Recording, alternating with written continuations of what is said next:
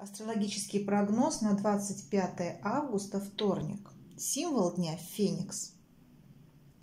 Силы в этот день помогают тем, кто идет путем саморазвития, кто изучает законы мироздания, кто изучает магию.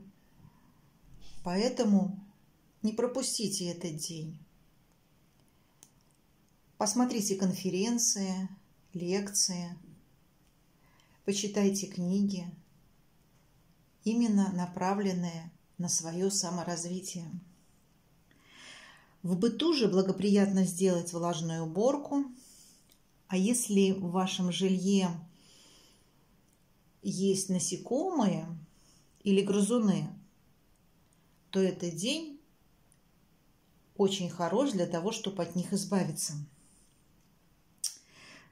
В отношениях будьте внимательны к своим высказываниям.